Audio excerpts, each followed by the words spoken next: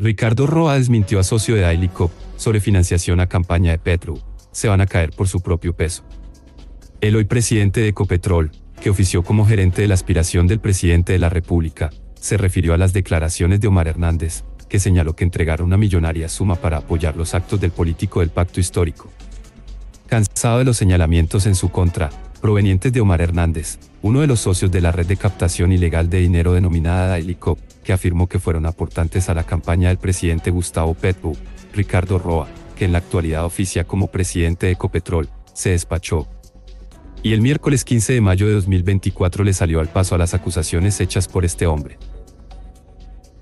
Roa, que durante la campaña del jefe de Estado la Casa de Nariño ofició como gerente, se desmarcó de las versiones que apuntan a que habría sido el enlace mediante el cual ingresaron millonarios recursos a la contabilidad de la aspiración y negó que esté implicado en lo que ha dicho Hernández, fundador de Spartan Hill, que hacía parte de la sociedad que estafó a más de 120 mil personas. Sobre las revelaciones del hombre, en el sentido de que habría entregado un helicóptero para los desplazamientos de Petro por diferentes zonas del país, el directivo de la estatal petrolera negó, de forma enfática, que esté involucrado en tal fin. Pese a que esta era una de las informaciones que tenía previsto ratificar Hernández en el interrogatorio pactado en la sede de la Fiscalía General de la Nación de Medellín. Sobre esos temas yo no voy a referirme en detalles, usted entiende mejor que nadie que hay unos procesos con licencias penales muy complicados. Sobre los testimonios que han dado estas personas se van a caer por su propio peso.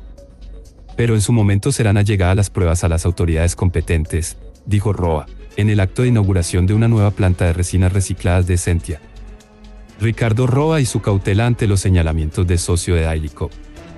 En sus declaraciones, en las que prefirió ser cauto, pues se encuentra inmerso en un proceso judicial. Roa enfatizó sobre las investigaciones ante los diferentes entes de control por su labor como gerente, y dejó en manos de sus apoderados cualquier comentario adicional en lo que referente a lo dicho por uno de los miembros de la sociedad que podría poner en jaque la legalidad de las cuentas presentadas. Tampoco quiso referirse a la ponencia radicada por los magistrados del Consejo Nacional Electoral, CNE, Álvaro Hernán Prada y Benjamín Ortiz, en la que habla de un desfase de más de 5 dólares.